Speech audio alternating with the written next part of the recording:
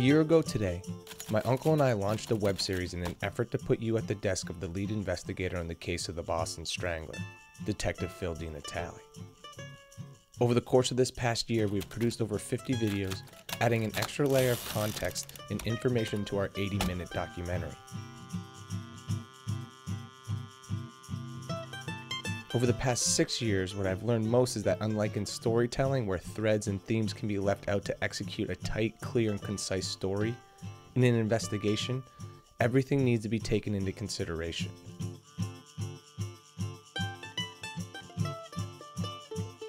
Thus, it was our effort to make this web series in order to publish as much about the investigation as we could in hopes of proving that Phil DiNatale was correct in his investigation of the Boston Strangler.